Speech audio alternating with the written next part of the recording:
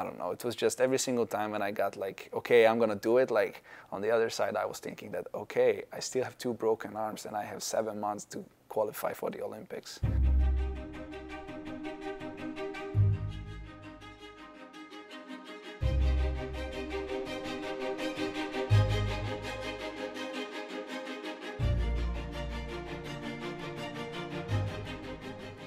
I had a great childhood. Like uh, I have a brother. Uh, my mom was raising us uh, alone, so it was really tough for her. And um, uh, I lost my dad like probably like 13 years ago. So my dad got in a car accident um, when I was two, and like he was uh, like he was paralyzed under his neck and uh, like he couldn't do anything basically. And uh, that was the time when my brother was born. He's two years younger than i am. And it was really rough to uh, grow up and you know like everyone else had like you know everything. And i was a little bit you know uh, in a worse situation.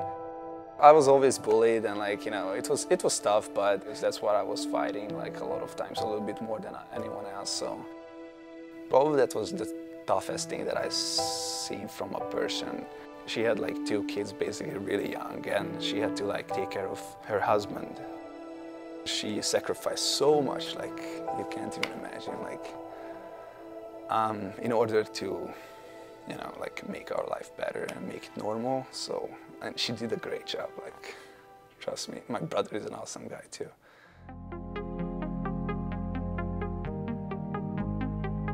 So I came to the US basically because I wanted to help her out. I knew that I have one chance and I, if I don't do this, basically I'm stuck. I just wanted to like chase my dreams and whenever I was like a chubby little kid, like if you tell me that I can't do it, I'm gonna go there and I'm gonna prove you wrong and I'm gonna make it.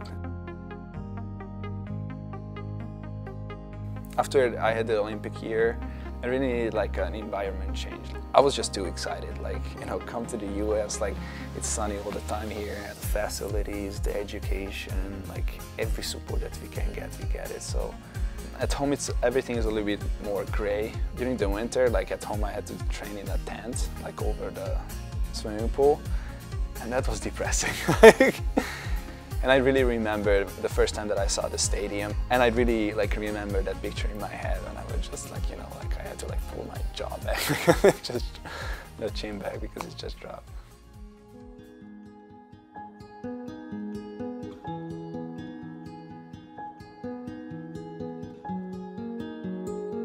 So I was biking and like a car was coming and I didn't feel anything, like I fell down like this and uh, I was like, okay, it's fine, like have a scratch on me, so I went to practice with two broken arms as I found out. and like, you know, like as I was riding my bike, I started to feel like a little bit pain, but I was like, oh, it's fine. Like I fell a thousand times, like it's not gonna be anything different. Like I was shattered when he told me, like I was really, you know, mentally broken. Like everything that I was believing, like it just fell apart because, you know, I just came back from a huge shoulder surgery and I was doing fine it was just so bad. Like, you know, I have, until Europeans, I had five months to qualify for the Olympics and someone has four years. I felt like life is not fair. Life took away so much from me and I just felt so angry about it.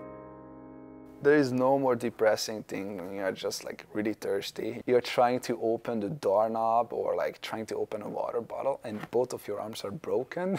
like I lived probably like 1.5 miles from the pool and I was walking every single day. I didn't touch my bike, I didn't get an Uber. I was always walking because I used that like time to like think about this stuff and probably that was the thing that like pulled me out because I could just, you know, I forced myself to like like get over this because I passed that point when I broke my arm every single time and I was like whenever I looked at it I was like I'm just gonna go and qualify for the Olympics and I knew that if I can accomplish this and I can come back from this then there is nothing that I can worry about in life. And like you know I had to keep this arm dry outside of the water so I had to hold it like this and with the other broken arm I tried to hold the kickboard but it was really painful because you know like it was still broken. And I didn't really ask for painkillers because I tried to be really conscious about it and I didn't want to make it worse. I couldn't like waste any more time.